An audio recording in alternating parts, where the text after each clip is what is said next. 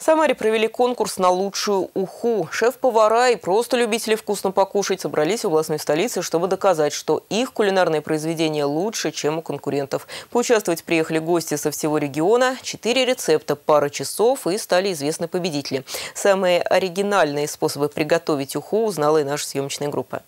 Под русские народные песни и традиционно на открытом воздухе. Четыре рецепта и команды. Чтобы поучаствовать в конкурсе, повары и просто любители вкусной пищи съехались со всего региона. Причем, чтобы попасть в команду, гуру кулинарного искусства оказалось быть не обязательно. Особенность в том, я 12 лет ставлюсь на Волге, такой ухи я еще не видела.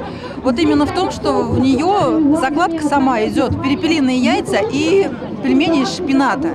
И потом уже бульон сварен на трех сортах, по-моему, рыбы. Еще в процессе приготовления Сузи на площадке становилось все больше. Прохожим предстояло попробовать все четыре вида блюда и проголосовать. Рецепты от самых изысканных до давно знакомых рассказывали по ходу приготовления шеф-повара ресторанов, они же капитаны команд. Мастер-классы продолжались около двух часов.